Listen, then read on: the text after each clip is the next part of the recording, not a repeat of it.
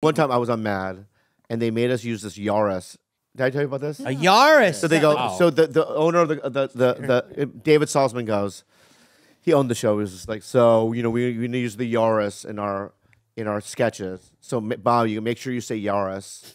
like when you're on a date, you have to go. You want to go in my Yaris to whatever, right? And I go, do we get compensation? And they go, no. Right. So so we're just hawking a Yaris. You know what I mean? Yeah. For to, to for you to make money.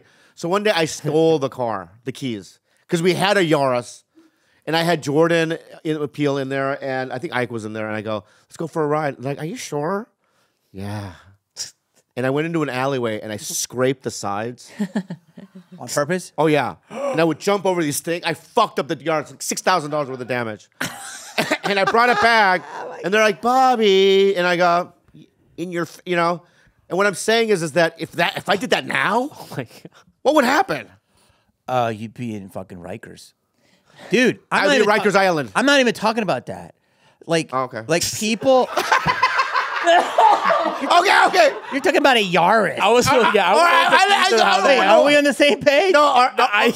oh no, I'm talking about, like, with cocaine, sex. like cocaine. Cocaine was a, what people did. I know because I remember seeing Richard Pryor. No, yeah, Richard Pryor was on a set and he was smoking crack on a movie set. Yeah. and people were like, "Oh, that's it's just crack." The first time I ever yeah. saw co- well, I saw heroin bizarrely early in my life. Yeah. Because I had a weird job in Philly and there was a guy, but it was something normal, and we just said, "Oh, the guy's a heroin addict." What was the job? I worked at a shoe store, and the owner of the oh. shoe store was addicted to heroin.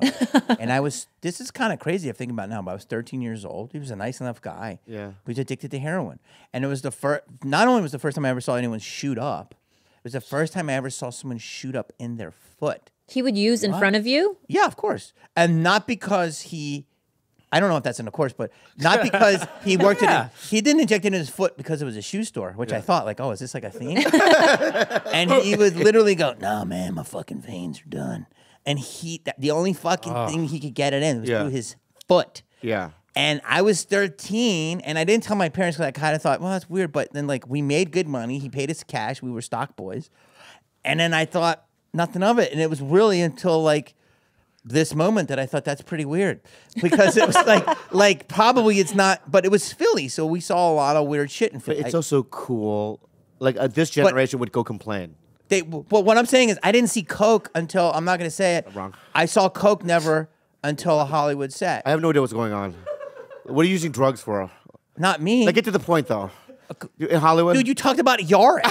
I know, but I'm just trying to now figure out why. Okay, my Yaris was wrong. Okay, That was So wild. I'm why is the saying shit that happens on a set. Forget any drugs. I think they've been more accepted. People, do you know that actors hook up with actors?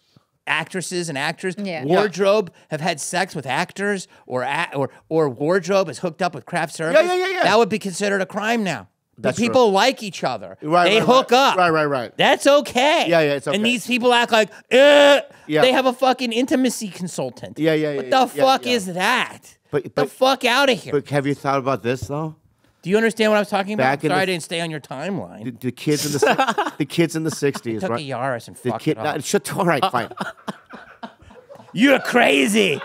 Johnny Depp did the hotel room. He ruined it at the Four Seasons. I fucked up a Yaris. Okay, Go ahead. can we go back? Yes. I wanted to have a normal It was great. No, we're having. A, no- it's normal. This is normal. Yeah, yeah. I love it. Go ahead. Okay. But you ever think, think about this? Okay. Yes. The kids from you know, I mean, that grew up in the 40s and 50s, they became, a, you know, in their 20s. They Yes. did the 60s, you know, the hippie movement, all that stuff. Yes. And their parents were like, "The music's devil worship. The music's too loud. I don't understand your nudity. I don't understand your culture." That's what we're doing to the younger generation now. I We're the old people now. I agree. It's too loud. I agree. I'm being an old lady, but am I? Yeah. You don't understand. I do understand. And we're trying. No, I do understand. You don't understand. And what I'm doing as No, an old do- man, I'm oh. trying to I'm trying to adapt to what they're saying because no, there's certain things that just don't make sense. But back in then, reality, showing your titty- No, in reality, showing your titty in Woodstock didn't make any sense to the people. no, but that's a titty. Now they would say it's a dick.